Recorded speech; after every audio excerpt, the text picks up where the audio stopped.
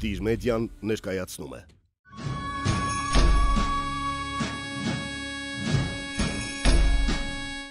Բարև ձեզ հարգելի դիտողներ։ Դիր մեդիայի եթերում հիմք հաղորդաշարի հերթական թողարկումն է։ Այսօր մեր հյուրն է ազգային ժողովրդավարական Բևեռի խորհրդի անդամ Կարո Եղնուկյանը։ Բարև ձեզ, պարոն Եղնուկյան։ Բարև ձեզ։ Շնորհակալ ենք հրավերը ընդունելու համար։ Ես եմ շնորհակալ։ Պարոն Եղնուկյան, ինչ կարծիքի եք։ Ինչ ակնկալիքներ պետք է ունենա մեր ժողովուրդը ԱՄՆ Հայաստան երկկողմ այցելություններից։ ԱՄՆ Հայաստան երկկողմ այցելությունները հասկանալու համար պետք է առաջի հերթին մեր ժողովուրդը հասկանա ամերիկյան ժողովրդի եւ ժողովուրդի իրաք է փոխանցվում է պետությանը եւ կառավարությանը մտածելակերպը, հասկանալ այդ մարդկանց մտածելակերպը։ Դժբախտաբար մեր ժողովուրդը չափում է արևմտյան միացյալ նահանգների մոտեցումը ըստ իրենց ունեցած փորձի, որը հիմնված է ռուսական հարաբերությունների հետ։ Հետեւաբար նրանք անպայման ուզում են Ռուսաստանի հետ հայեմատել, իսկ Ռուսաստանի հարաբերությունները, եթե մենք այսպես բաժանենք արևմուտք միացյալ նահանգներ մի կողմ, Ռուսաստան, Թուրքիա, Չինաստան, մյուս կողմը, այդ կողմը իրենք ասիական բարքերի տեր հասարակություններ են եւ մենք արդեն 100 տարուց ավել է եւ եթե իհարկե գնանք կարող ենք ասել 1000 տարուց ավել է մենք գործ ենք ունեցել արևելյան բարքերի հետ արևելյան աշխարհանկալման հետ իրենց կառավարման համակարգի հետ իրենց կառավարման համակարգը այսպես ասած կարճ որ մեր ժողովուրդը լավ ծանոթ է դրան ասում են թաթարա-մոնղոլական համակարգ Թաթարա-մոնղոլական համակարգը իրենից ներկայացնում է, որտեղ կա այդ ղեկավարը, որը բռնապետ է, դաժան է, արյունախոհ է եւ ինքը այսպես ասած պախան է եւ այդ մեկ անznավորությունը լինի դա Սի Ցինպինը Չինաստանում, թե Էրդողանը Թուրքիայում, թե Պուտինը Ռուսաստանում, նրանք որոշումները կայացնում են մեկ անձնյա եւ հասարակության կարծիքը հաշվի չեն առնում։ Այսա է ամենակարևոր բանը, որ այդ բռնապետների համար հասարակության կարծիքը 0 է։ Իրենք կարող են լսել հասարակության կարծիքը միայն իրենց շահերից ելնելով, օգտագործելով, մանիպուլյացիա անելով։ Իսկ արևմուտքը, որ մեր ժողովրդի ես դա եմ ուզում, որ հասկանան, որ արևմուտքում հասարակական կարծիքը շատ կարևոր է։ Չի կարող Բայդենը կամ այսօր Թրասը կամ որից է մի արևմտյան երկրի քաղաքակիրթ աշխարհի ղեկավար մի անձնյա որոշում կայացնել առանց հաշվի առնելու հասարակության կարծիքը իսկ հասարակությունները այդ երկրներում ժողովրդավարական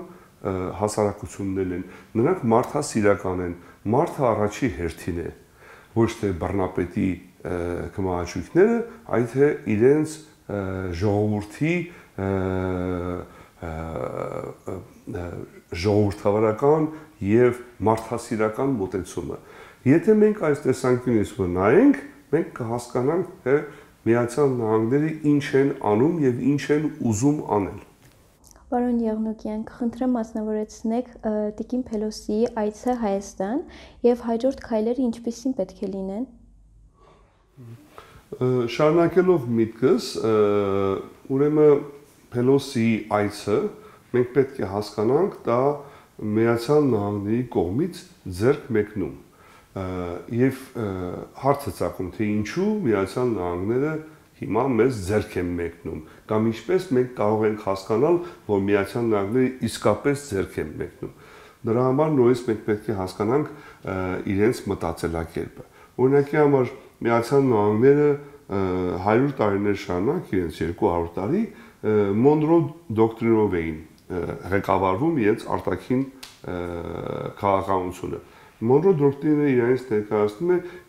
isolationism, իզոլացման։ Ինչ են դա նշանակում, որ իրենք ասում են Ամերիկան դուք Ամերիկայի հետ գործ չունեք, խոսքը գնում է հյուսիսային եւ հարավային Ամերիկան, դուք ինչ ուզում եք արեք Եվրոպայում, իրար սպանում եք, պատերազմներ եք անում, մենք չենք խառնվում։ Բայց այնպես եղավ, որ համաշխարհային առաջի պատերազմի նախաշեմին, երբ որ 15 թվին արդեն ցեղասպանություն եղավ հայերի Օսմանյան իմպերիայում, այնտեղ արդեն գտնվում էին ամերիկյան միսիոներներ, Այդ միսիոներները եկել էին 1800 թվականներից ու Համիդյան ջարդերից հետո իրենք եկել էին արդեն Օսմանյան իմպերիա եւ քարոզում էին որպեսի քրիստոնյա հայերը դառնան օրինակի համար բողոքական բողոքականներ այդ կորոնի դավանությունը, որ քրիստոնեայության մի ուրիշ սեկտ է, այսպես ասած։ Այդ միսիոներները ամբողջովին դրթված էին մարդասիրական դրթապաճան բան դրթապաճանի ես ամբողջովին մարդասիրական էր ճիշտ է իրենք նպատակ ունեին քարոզեն հայերին որպեսզի նրանք դառնան փողոքական բայց իրենք անում էին լավ գործ օրինակի համար միացյալ նահանգները այդ տարիներին 130.000 հայ որփի տիրություն է արել միայն մոտավորապես 30.000 գյումրիի որբանոցում հայեր են եղել եւ վրա ամբողջովին եղել է մարդասիրական եւ այդ ժամանակ Միացյալ Նահանգները առաջի անգամ լինելով փոխեցին իրենց տեսլականը կամ իրենց մոտեցումը աշխարհի նկատմամբ, քանի որ արդեն աշխարհը, ասած, փոքրանում էր, իրենք չէին կարող իզոլացվել, իզոլացված մնալ Միացյալ Նահանգներում եւ հյուսիս հարավ Ամերիկաներում, իրենք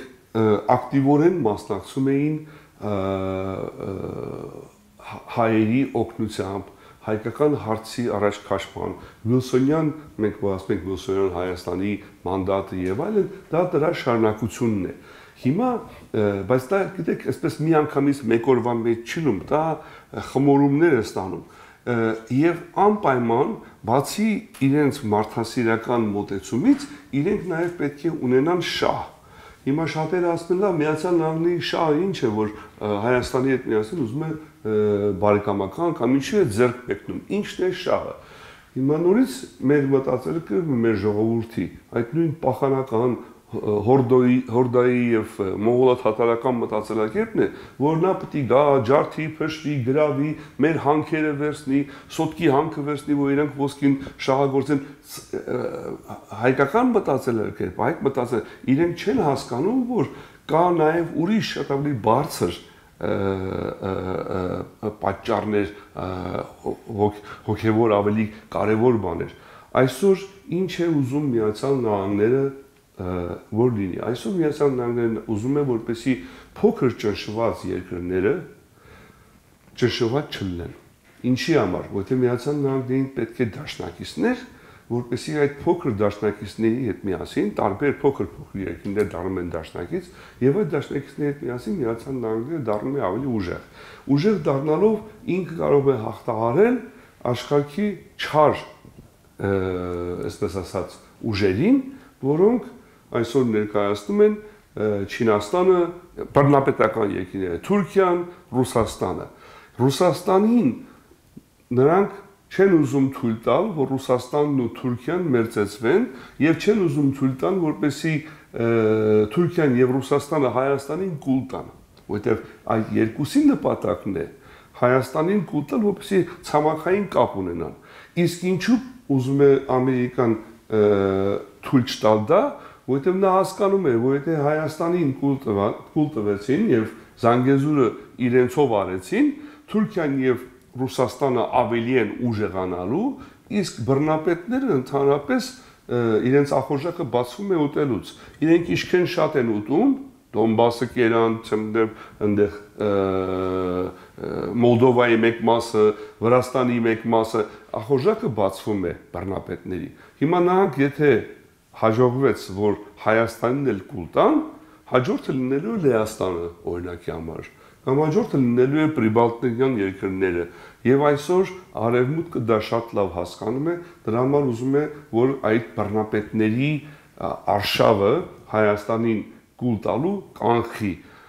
այն նպատակով որ նրանք չուժեղանան որի հետևանքով հաջորդը լինելու է այդ մույս փոքր երկրները իսկ հաջորդը միացյալ նահանգներն է լինելու օրինակ կամ Ֆրանսան այնպես չէ որ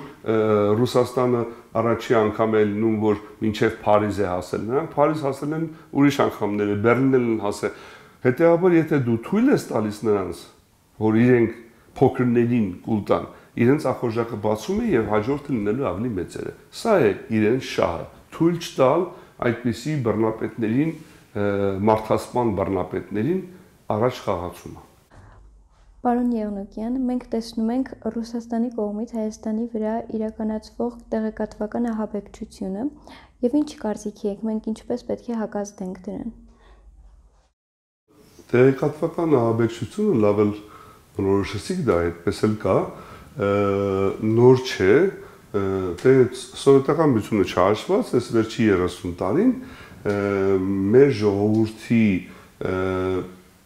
համար առաջին տեղեկատվական ինֆորմացիան, որ գալիս ստանում է, դա ռուսական տելևիզիոն կանալներն էր։ Այդ ռուսական իրենց առաջին ալիքն է, արտին է եւ այլն իրենց ամբողջ լրատվական դաշտը ուղղված է մարդկանց ուղերները լվանալով։ Եվ քանի որ Հայաստանը գտնվում է Ռուսաստանի տիրույթի տակ եւ Ռուսաստանն է ղեկավարում նույնիսկ մեր հանրային կայանը, հենց օրինակի համար տարիներ առաջ CNN-ը զրի կանալ էր, որ նայում էիր։ Եվ CNN-ից իհարկե հասկացողը կարող էր որոշ ինֆորմացիա ստանալ, որը ոչ ռուսական կանոնների տված ինֆորմացիա։ CNN-ը հանեցին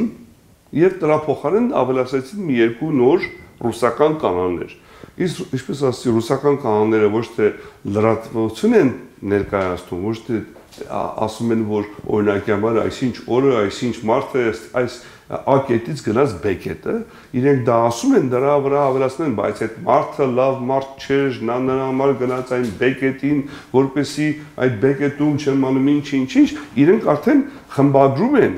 ինֆորմացիան, հասարակ չոր ու ցամաք ինֆորմացիան, իրանք խմբագրում են իրենց ռոպագանդիստական մեսեջն են ուղարկում, շատ ժամանակներ այդ մեսեջը ուղակի չէ, անուղակի մեսեջ է, որը ազդում է մարդկանց ենթագիտակցության վրա, ինքը լսում է գիտակցորեն լսում է մեկ բառ, բայց այդ բառը ենթագիտակցաբար ազդում է այդ մարդուն, որպեսզի նա կամ դրական բամբացական դրսևորում ստեղծի այդ դրատվական սուբյեկտի վերաբերյալ, ում մասին որ լրատվությունն է։ Եվ այսպիսով վերջի 30 տարվա Հայաստանի այսպես ասած անկախության 30 տարիների ընթացքում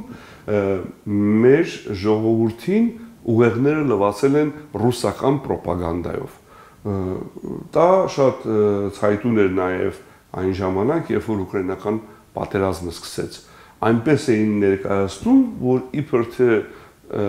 Ռուսաստանը փրկում է ռուս ռուսախոս Ուկրաինայի բնակիչներին, քանի որ ուկրաինական կառավարությունը կամ պետությունը նրանց հալածում է, սպանում է 8000 զոհեր կան, երեխաներ, հիվանդանոցներ, հիվանդանոցներ եւ այս ռոպագանդան արվում էր, որպեսի հետո իրենք արդարացնեն իրենց հարցակումը Ուկրաինայի վրա։ Սա հին գեբելսական մեթոդ է, որտեղ դու եթե ուզում ես մեկի վրա հարցակվես, դու պետք է այդ մարդուն հրեշացնես հանրության աչքերում, հրեշացնել ասելով որ դե գիտեք ինքը կարճահասակ, բեխավոր, փոքր աչքերով մի անznավորություն է, դու մի անգամից եթե այդպես ես նկարագրում այդ մարդուն, քո մոտ մի անգամ բացասական զգացողություն է գալիս այդ մարդուն։ Դու արդեն չես ուզում էլ լսել թե այդ մարդը ինչ է ասել։ Ասում են կարճահասակ, բեղավոր, փոքր աչքերով, դեք փոքր աչքերով մարդիկ համարվում են այսպես խորամանկ, բան եւ այլն։ Եվ այս նկարագրությունը ենթագիտակցաբար ազդում է մարդու վրա, որ ինքը կարծիք ստեղծի այդ մարդու նկատմամբ։ Եվ սա հրեշացման process-ն է, եւ եթե մի օր դու այդ մարդուն փողոցում մեկը գլխին խփի եւ ասի, այ դու են բեխավոր կարճահասակը չես են փոքր աչքերով, հանրությունը կասի լավ էլ արես նրան, դրան արժանի էր այդպես վերաբերվել։ Սա այդ ռոպագանդան է։ Հիմա ինչ պետք է անի Հայաստանը։ Հայաստանը առաջ երկին պետք է բոլոր ռուսական կանալները նետի աղբամանը։ Արքիլի բոլոր ռուսական նույնիսկ վճարովի կաբելային մեթոդով, որովհետև վճարովիով իրենք ունեն այն լծակները, որ կարող են նորից լցնել իրենց կանալները վճարովիով, հետո այստեղ մակինացիաներով այնպես անել, որ այդ վճարովի կանալները հերարցակվեն Հայաստանով մեկ եւ նորից մեր ժողովուրդը ընկնի այդ նույն թակարտի մեջ։ Հեշտ է մեր ժողովրդին ռուսական կանալները լսել, որովհետեւ ռուսերենն են տիրապետում մեծամասնությունը, եւ քանի որ հայական կանալները իրանցից ոչ մի բան չեն ներկայացնում, կամ եթե մի նորություն են տալիս դա ամբողջովին copy paste է ռուսականից, մենք ճունենք ոնց եմ տեղեկություն։ Մեր տեղեկությունը բլոկադայի մեջ է։ Իսկ ժողովրդի մեծ մասը ինտերնետ կամ ամերիկան, անգլիական, չինական կանալներ չի լսում։ Հետաբար մենք տեղեկատվական բլոկադայի մեջ ենք։ Տեղեկատվական բլոկադան միայն մեկ ձև, դանակով այն գործյան հանգույցը ինչպես են թուրով կտրել, այդպես պետք է կտրվի։ Պարոն Եղնիկյան, տեսնում ենք, որ մեր ժողովուրդը ռացիոնալ գործելու փոխարեն գործում է ռեակտիվ։ Ինչպես կարող եք դա մեկնաբանել։ Այս վերջի հարցակումը, որ եղավ սեպտեմբերի 13-ին, այդ քաղաքակիրթ աշխարհի մասին էի խոսում, չէ՞, ամբողջ քաղաքակիրթ աշխարհը առաջերտին հասցեական ասեց, որ ագրեսորը Ադրբեջանն է, Եվ դա ասեցին տարբեր տեղերից, տարբեր երկրների, տարբեր լրատվականներ, տարբեր քաղաքական գործիչներ, կոնգրեսականներ, պարլամենտականներ, Ֆրանսիայի, Գերմանիայի եւ այլն։ Հա ասում են դա։ Հիմա ընդհանրապես այդ հանրային կարծիքի մասին որ քիչ առաջ խոսում ենք, հանրային կարծիքը ստեղծում է, երբ որ մի ինֆորմացիան հա ասվում է նույն ձևով։ Օրինակ Ուկրաինայի պատերազմի ժամանակ CNN-ը 24 ժամ, գոնե առաջին մի քանի շաբաթը 24 ժամ խոսում էր թե ինչ է կատարվել, որտեղ ուկրաինացիները տալիս էին ինֆորմացիան CNN-ին, Բուչայում էսպես, չեմ անում Օդեսայում այնպես, այս հիվանդանոցը 3 երեխա զոհվել է եւ սա անդադար էին ասում եւ ինչի են անդադար ասում, որպեսի հանրային կարծիքը տրամադրվի ընդդեմ ագրեսոր բռնապետ մարդասպան Ռուսաստանի, terrorist Ռուսաստանի։ Եվ այդպես էլ եղավ։ Հանրային կարծիքը ամբողջ Եվրոպայով մեկ, Միացյալ Նահանգներով մեկ հակա ռուսական էր։ Նույնիսկ կային կառավարություններ, իշխանություններ, որտեղ իշխանավորները ասած փորձում էին երկու պարանի վրա խաղալ եւ այնքան էլ Ռուսաստանի պատժամիջոցներին ենթարկելու կողմնակից չէին, բայց ժողովուրդները այդ երկրներում, օրինակ համար հենց մեր հարևան Վրաստանը, ժողովուրդը տրամադրված էր ընդդեմ բռնապետի եւ մարդասպանի ինչքան էլ որ Իվանաշվիլիի կառավարությունը փորձում էր մեղմացնել այս հասարակական կարծիքի ստեղծումը լինում է երբ որ ինֆորմացիան միշտ ասում է շարունակաբար, որ Ադրբեջանը հարվածեց այսինչ հիվանդանոցում, հիվանդանոցում երկու երեխա կար, այդ երկու երեխաները վիրավորվեցին, մահացան, պետք է ասել։ Իսկ ինչ արեց այս ընթացքում ռուսական լրատվական դաշտը։ Ռուսական լրատվական դաշտը ագրեսոր չանվանեց Ադրբեջանին։ Հակառակը դեռ մի բան էլ հայերին մեղադրեց, որ դա այդպես եղավ, որովհետև դուք դեմարկացիա դելիմիտացիա չեք արել, աստորեն սահմանները չենք իմանում, հետեւաբար մենք չենք իմանում թե ջերմուկը ուր է գտնվում։ Մեր քարտեզների վրա ջերմուկը པարզ չէ, թե Հայաստանում է թե Ադրբեջանում է իրենց քարտեզներում։ Դրա համար ասում են եկեք մենք հիմա այդ սահմանները գծենք, որ իմանանք թե ջերմուկը որտեղ է։ Իրենք փաստորեն աղավաղեցին այս ինֆորմացիան եւ դրա հետևանքով ինչ եղավ ռուսական կանալները բոլորը անխտիր աղավաղեցին, բոլորը անխտիր ագրեսոր չանվանեցին Ադրբեջանին, բոլորը անխտիր անտեսեցին փաստերը, որ մենք արդեն ներկայացրել էինք ՄԱԿ-ի անվտանգության խորհրդին, Միացյալ Նահանգներին, նաև Ռուսաստանին ու հապկին, բայց իրենք դա անտեսեցին, ծածկատմփոց արեցին, փակեցին, հետեւաբար մեր ժողովուրդը, քանի որ լսում էր այդ ռուսական կանաններին, կներեք այս խոսքի համար արխայնացավ։ Ասես թե բան չկա, էլի հիմա ինչ ա եղել։ բայց վերջացավ 13-ին, 14-ին էլ չէին կրակում, հետեւաբար իրենց մոտ իրենք հանգստացան։ Իսկ ես դրա համար էի բերում Ուկրաինայի դեպքը, որ այնտեղ ոչ թե թողեցին, որ ժողովուրդը հանգստանա, հակառակը ժողովրդին ավելի ամեն օր ցույց էին տալիս վայրագությունները, որ արել են Կադիրովի զորքերը եւ բուրյատները եւ եւ այլն եւ այդ ալկաշ ռուս զինվորները թե ինչ են արել, ոնց են բռնապարել, ոնց են սպանել, ոնց են դաժանություններ կիրառել եւ դա է որ մարդկանց թույլ չի տալիս որ իրենք ասես ասած հանգստանան եւ մոռանան իսկ մեր ժողովրդին ռուսական կանոնների միջոցով թմրանյութի կաթիլները տալով Մա փողոցում հարցնես դե ինչ է դե ասենք շատ ավելի 13-ին մի քիչ կրակեցին մի 300 հոգի մարդ մահացավ ինչ ա եղել որ այս մոտեցումն է արդեն Սա նորից գալիս է այդ մեր առաջվա հարցին ոտվեցիք լրատվականների հետ կապված որ նրանք պետք է ամբողջովին արկելափակվեն մեր հանրային ռադիոն եւ տելևիզորը պետք է իսկապես դառնա հանրային, որտեղ թույլ կտան, որպեսի տարբեր կարծիքներ ունեցողները, օրինակ, երբևիցե հանրային տելևիզորը չի հրավիրում բևերի խորհրդի անդամներից որոնց է մեկին, որ նրանք կան եւ ներկայացնեն թե ինչ է իրականում կատարվում այլ ոչ թե այնինչ որ Ռուսաստանն է թելադրում, որ կատարվում է։ Ինչու Բևերը չի սկսում քաղաքացիական անհնազանդության պայքարի փուլը։ Քաղաքացիական անհնազանդության համար հարկավոր է massայական բողոքի արտահայտություն։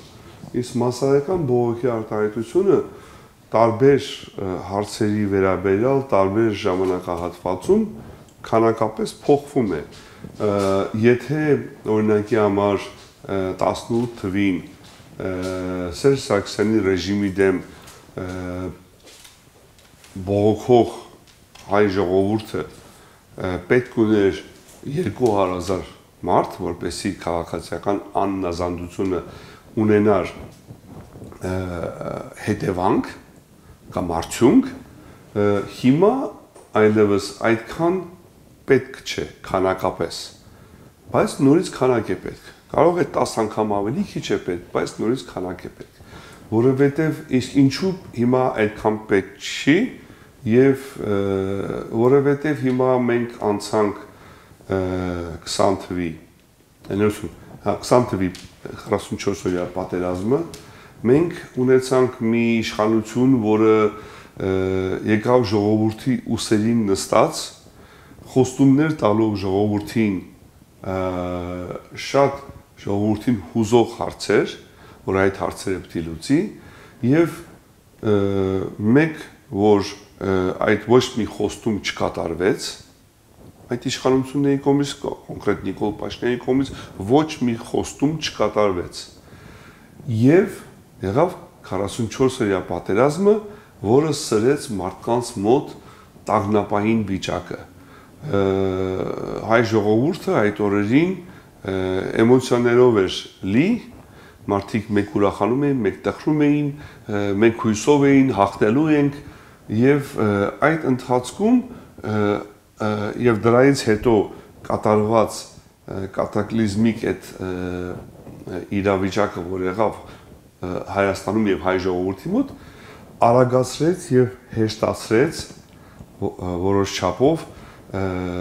քաղաքացիական աննազանդության գործողության հաջողությունը։ Սակայն նորից պետք է որոշ չափով քանակ։ Նորից ասի կարող եք 10 անգամ ավելի քիչ լինել, քան 18 թվի 200.000-ը, բայց համենայն դեպս այդ քանակը պետք է։ Իսկ այդ քանակը հենց շանգլուխ այդտեղ է թաքնված, որ այդ քանակը չի հավաքվում, որովհետև մեր ժողովրդին այս ռուսական լրատվական, որին հետևում է նաև մեր հայկական լրատվական 5-րդ շարասան կանալները, թմրստում են ժողովրդին։ Եվ որ ժողովուրդը տագնապից տագնապ է գնում եւ այդ տագնապից տագնապի մեջտեղը ինքը հանգստանում է եւ թուլանում է դա արդեն փչացնում է ամբողջ այդ քաղաքացիական աննազանդության բազան, որի վրա պետք է հիմնվի։ Եթե ինքը արդեն իրեն հանգիստ է զգում եւ կարող է կասկադի կաֆեներում նստի եւ ուրախությամբ վայելի իր մի գավաթ գինին եւ հարսանիքներում տաշի տուշի անի, այդ ժողովրդից դու չես կարող սпасել, որ իրենք կարող են քաղաքացիական աննազանդություն անել։ Քաղաքացիական աննազանդությունը պետք է լինի բողոք, պետք է լինի տագնապ, պետք է լինի որպես հրդեհ, պետք է հրդեհը մարես։ Եվ այդ հրդեհի զգացողությունը մեր մոտ չկա մարում են այդ հրդեհը, այդ լրատվական դաշտով եւ հետեւաբար քրիտիկական մասսա չի հավաքվում։ Իսկ առանց քրիտիկական մասսայի քաղաքացիական աննազանդությունը որպեսի պատկաբեր չի կարող լինել։ Պարոն Եղնուկյան, երբ Բևերի հաջորդ հանրահավաքը եւ ինչ հորդորներ ունեք մեր ժողովրդին։ Հաջորդ համարակը լինելու է հոկտեմբերի 15-ին ժամը 5-ին 17:00 ի տարբերություն առաջվա հանրահավաքներին, որը ժամը 4-ին էր, հիմա ժամը 5-ին է լինելու, եւ հորդորը մեր ժողովրդին նույնն է, որ եթե իրենք ուզում են փոփոխություն, եթե իրենք ուզում են ավելի լավ կյանք, ավելի ապահով կյանք, որտեղ կա արդարություն, որտեղ օլիգարխները չեն շարունակելու մեր երկիրը թալանել, որտեղ դավաճան իշխանությունները մեր երկրի կտորները կտոր-կտոր չեն հանձնելու թշնամուն, լինի դա համաձայնությամբ, լինի դա պայմանագրով, թե պայմանավորված փոքր պատերազմ, փոքր կամ մեծ պատերազմներով, եթե մեր ժողովուրդը դա չի ուզում, եթե մեր ժողովուրդը ուզում է ապրել իր պապական հողերում, հողերի վրա, մեր հայրենիքում եւ ոչ թե արտագաղթել, իրենք պետք է գան եւ իրենց ձայնը լսելի դարձնել։ Իսկ ավելի առարկայական թե ինչ է հիմա կատարվում Հայաստանում եւ ինչպես որ սկզբից նշեցիք Միացյալ Նահանգների Փելոսի այցը եւ այլն, մեր կարգախոսները այդ վերջի երկու հանրահավաքներին, երբ որ շարունակվում է 3 հանրահավաքներին, վերջի 3 հանրահավաքներին, որը շարունակվել է հոկտեմբերի 15-ին, առաջի հերթին դա անվտանգության հարցն է։ Հայաստանի եւ հայ ժողովրդի, որը բնակվում է այսօր Հայաստանում, նրա անվտանգության հարցն է։ Այդ հարցը համար առաջինն է։ Դրանից բխող կան ուրիշ հարցեր։ Հիմա անվտանգությունը Հայաստանի ինչպես կարող է ապահովվել։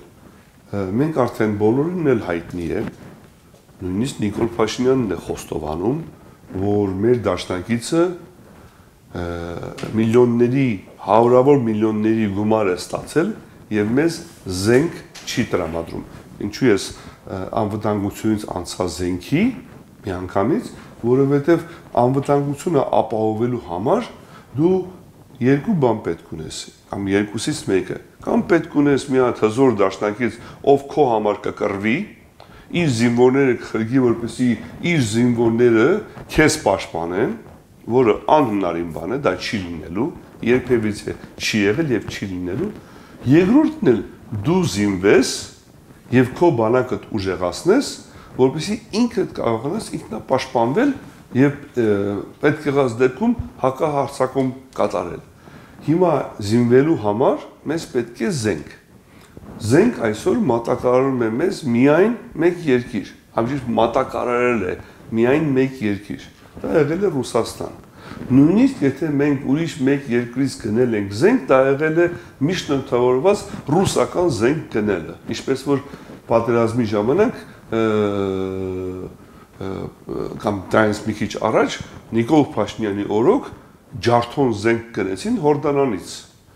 Ինքն էլ խոստովանեց, որ այդ զենքը ջարդոն էր։ Գիտեք, այդ մարդը խոստովանում է հանցագործության մեջ, բայց տարօրինակ բան է, որ մեր դատախազությունը քննչական կոմիտեն չի կանչում, ասում է, հի, այդ ջարդոն զենքը գնեցիր, պարոն Փաշինյան։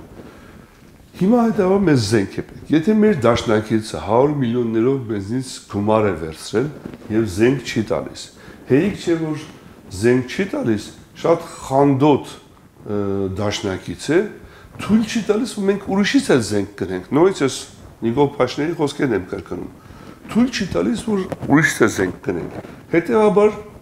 մենք պետք է մտածենք, թե ինչպես անենք, որ մենք կարողանանք զենք գնենք մեկ ուրիշ տեղից։ Եվ պետք է հասկանանք, թե ինչն է խոչընդոտում դրան։ Դե մենք արդեն հասկացանք, որ դրան խոչընդոտում է Ռուսաստանը, այսպես կոչված մեր ողերին դաշնակիցը։ Ինչ մեխանիզմով է նա խոչընդոտում դա։ Նա խոչընդոտում է դա առաջի հերթին մեր հապկում անդամ լինելու կարգավիճակով որովհետև բառացիորեն Ջեկի Սպիրը, որը ժամանել էր Քլոսիի հետ, Ամերիկա վերադառնալուց հետո հայտարարություն արել, որ մենք պատրաստ ենք Հայաստանին օգնել զենքով, սակայն մենք դա չենք կարող անել այնքան ժամանակ, որ Հայաստանը հապկի անդամ է, որովհետև չկա որից մի գարանտիա, որ Հայաստանը այդ զենքը չի տա հենց հաջորդ օրը կամ նույն օրը Ռուսաստանին։ Իսկ Ռուսաստանը մենք գիտենք, որ զենքի կարիք ունի։ Իր զենքը սպառվում է եւ զենքի կարիք ունի։ Հետեւաբար մեզ ուղիղ խոսքով ասում են, որ եթե դուք զենք եք ուզում, մենք պետք է վստահ լինենք, որ դուք այդ զենքը չեք տրամադրելու Ռուսաստանին։ Իսկ այդ առաջի քայլը հապկից դուրս գալն է։ Երկրորդ քայլը մենք պետք է այն մեխանիզմները, որով որ մենք կախված ենք Ռուսաստանից, ուղղակի Ռուսաստանից, ոչ թե հապից, դրանք էլ խզենք, որպեսզի Ռուսաստանը չկարողանա մեզ պարտադրել Ամերիկայի կողմից մեզ տրված զենքը հանձնենք ռուսերին։ Այս քանի օրերս հայտարարվեց, որ մենք ստանում ենք զենք Հնդկաստանից։ Ինչ այսպես մի գաղտնիք ասեմ, գաղտնիք է, չէ, դա ոնց է մի տրամաբանող մարդ կարող է հասկանալ, որ Հնդկաստանը երբևիցե մեզ զենք չեր տար, եթե չլիներ Միացյալ Նահանգների համաձայնությունը։ Նայեք, վերցրեք օրինակը Ուկրաինային մատակարարված զենքից։ Այսօր եթե Սլովակիան մատակարարում է մի տեսակ զենք անունը մոռացա Ուկրաինային դրա համար ֆինանսավորում են Դանիան, Շվեդիան, Միացյալ Նահանգները։ Որտեւ ասում են փոքր երկիր Սլովակիային, որ դու կտաս այդ զենքը, բայց մենք քո քեզ կփոխարինենք հետո մեր զենքով։ Հիմա նույնն էլ այստեղ եթե Հնդկաստանը առաջի անգամ լինելով արտահանում է մի զենք, որը երբևիցե ուրիշ տեղ նա չի վաճառել եւ այդ զենքը վերջին խոսք ռակետային զենք է եւ նոր արտադրության ոչ թե 60-ական թվականների ռուսական ջարդոն ես ձեզի կարող հավաստիացնեմ որ դա 100%-ով եղել է միացյալ նահանգների դրտմամբ, քաջալերմամբ, համոզմամբ, ինչպես ուզում եք դա եւ այստեղ գիտեք երբ որ իրենք համոզում են Հնդկաստանին, որ այդ զենքը մեզ տան, Հնդկաստանը մի բան ուրիշ է ստանում Միացյալ Նահանգներից դրա փոխարեն, ինչպես որ նոր Սլովակիայի օրինակը բերեցի։ Հետեւաբար երկրորդը դիլինի, որ մենք այս խոսքը գնում է մեր հանրահավաքի հորդորներից, որ պետք է դուրս գանք հապկից եւ չեզոքացնենք ռուսական աստեցությունը, որի մեջ մտնում է նաեւ դուրս գալ միացյալ ռուսական բանակի հետ կապված մեր հոպի ղեկավարումը։ Այսօր մեր հոպը հակաօթային պաշտպանությունը ռուսերի ձեռքն է։ Հիմա ինչ օգուտ ունի, եթե մենք ռակետներ ստանանք, բայց չկարողանանք դա օգտագործել, որովհետև մեր հոպ համակարգը չի աշխատում։ Ռուսերի ձեռքն է, դա էլ պետք է, դա է հարցերից մեկն է։ Իսկ երրորդ հարցը, որ մենք առաջ ենք քաշում, դա որ պետք է արվի անմիջապես հապկից դուրս գալուց անմիջապես հետո դա դիմել միացյալ նահանգներին, որպեսի Հայաստանը դառնա Միացյալ Նահանգների գլխավոր ոչ ՆԱՏՕ դաշնակից։ Այդպիսի մի կարգավիճակ ունի Միացյալ Նահանգները, որ տրամադրում է այն երկրներին, որոնք ինչ-ինչ պատճառներով չեն կարող լինել ՆԱՏՕ-ի անդամ, բայց ուզում են ունենան Միացյալ Նահանգների անվտանգության ապահովումը։ Այդ կարգավիճակը Հայաստանին տալով մենք մեր անվտանգության ապահովումը 95%-ով ապահովում ենք։ 5%-ն էլ արդեն շանս է, որ այդ ռիսկին կարող ես գնալ, բայց 95%-ով մենք ապահովում ենք մեր անվտանգությունը ասեմ, որ 19 երկիր է, եթե չեմ սխալվում, որ ունի այդ կարգավիճակը, որը Միացյալ Նահանգները շատ արագացված կարգով տրամադրում է այդ պետություններին եւ վերջի օրինակը Կատարն էր, որը շատ կարճ ժամանակում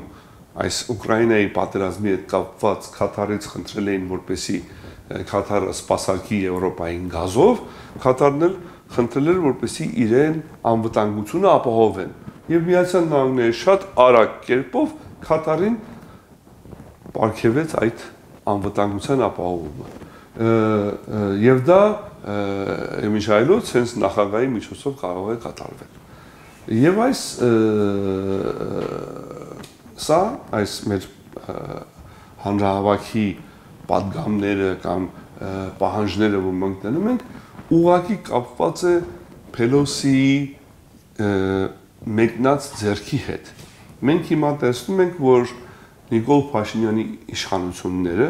որոնք ապացուցել են արդեն բազմաթիվ անգամ, որ իրենց մոտ հայրենասիրությունը երևի պլենտուսից ցածր է, իրենց միայն մտահոգում է իրենց աթոռները եւ իրենց աթոռը պահպանելու համար եւ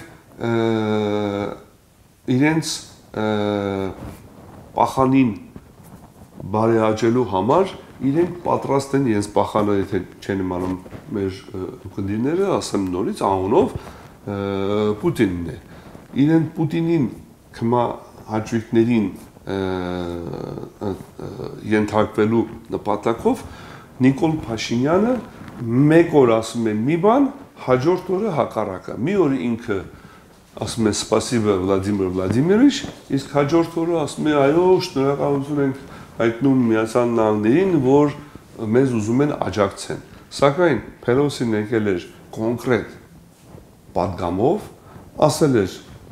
Նիկոլ Փաշինյանին եւ մնացած բոլոր իշխանավորներին, որ կողմնորոշվեք ինչ եք ուզում եւ երբ կողմնորոշվեք, ասեք մեզ, թե մենք ձեզ ինչպես կարող ենք օգնել։ Սա երկու քայլանի բան է, չէ՞։ Դի առաջ դու որոշես, դու ինչ ես ուզում։ Օրինակ, նարկոմանը չի կարող նարկոտիկից հրաժարվել, եթե ինքը չի որոշում, որ այլևս չի ուզում օգտագործել նարկոտիկ։ Առաջի քայլը դա է։ Ինքը պետք է որոշի, որ նարկոման չի ուզում լինի։ Երկրորդ քայլը արդեն տեխնիկական է։ Հիմա ինչպես նա այդ նարկոտիկներից կհրաժարվի, հիվանդանոց կտանեն իրան, թե իր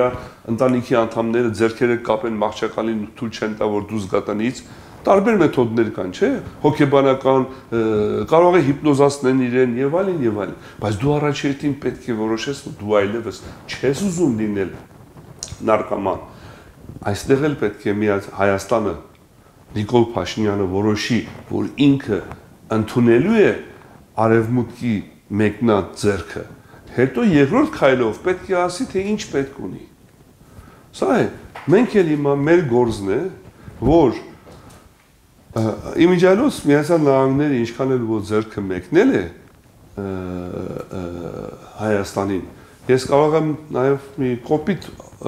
նկարագրով ասել, որ Միացյալ Նահանգները Նիկոլ Փաշինյանի ականջից բռնած քաշում են իրեն դեպի արևմուտք։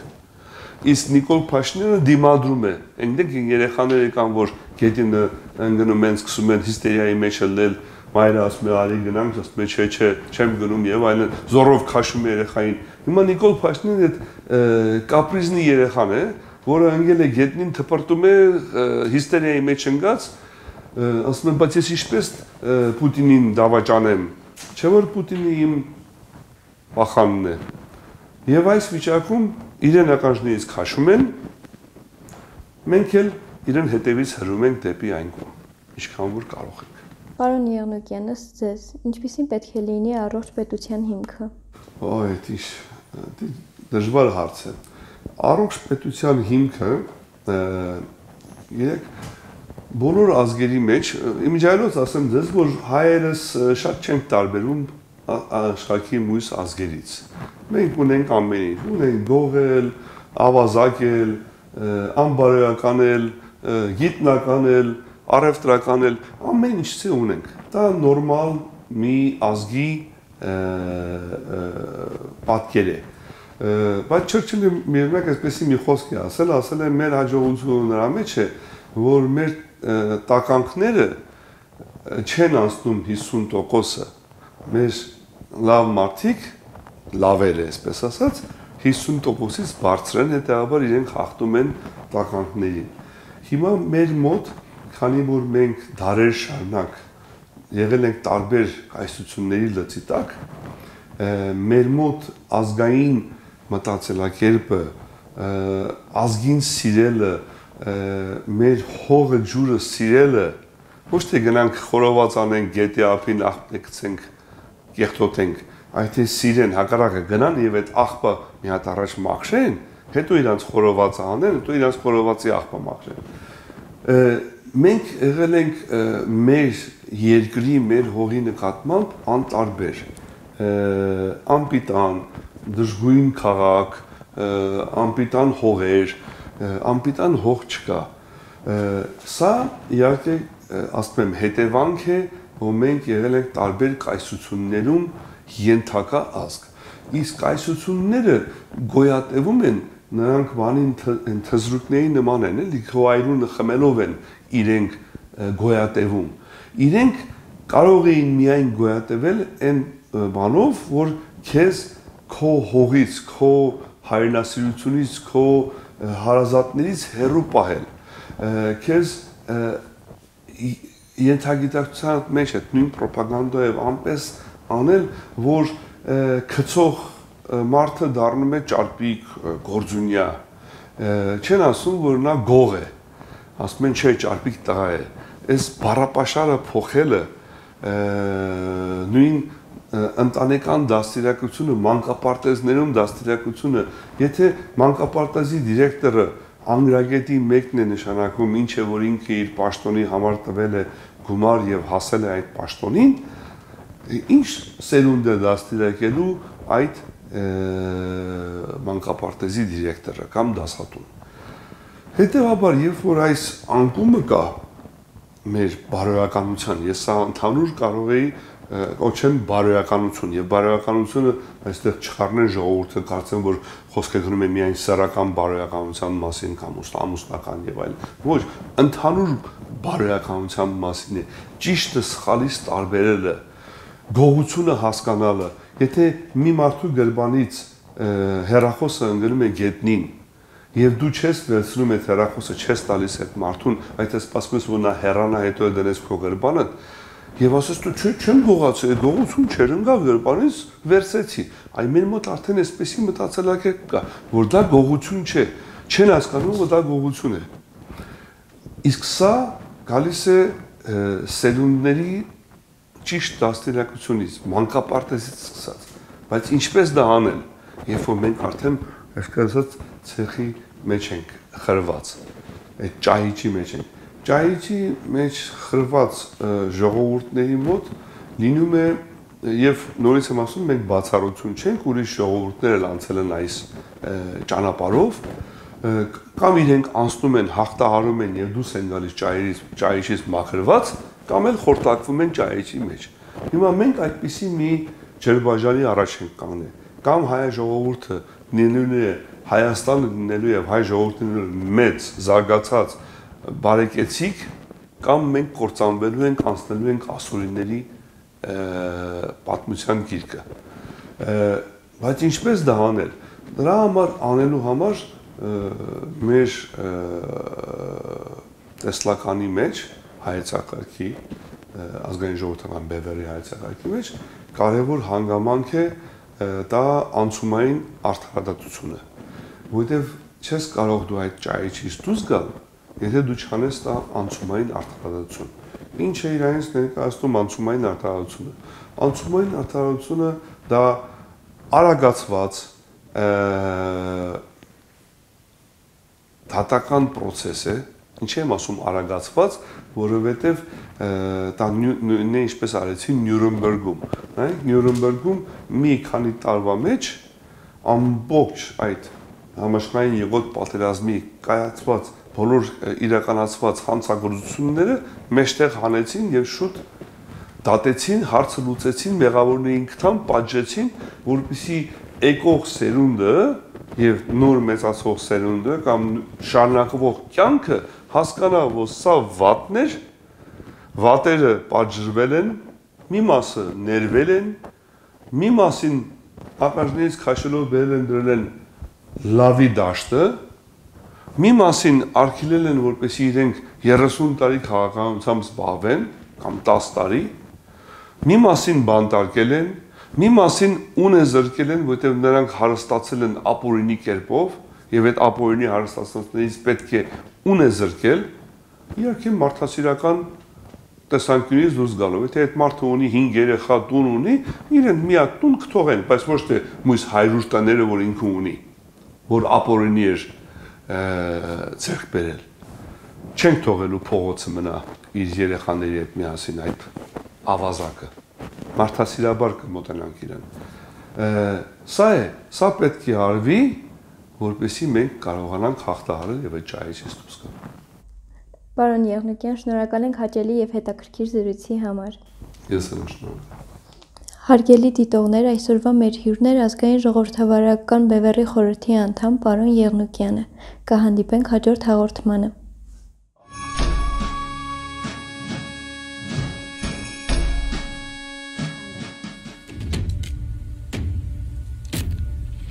Բաժանորդագրվեք Դիր մեդիայի ալիքին։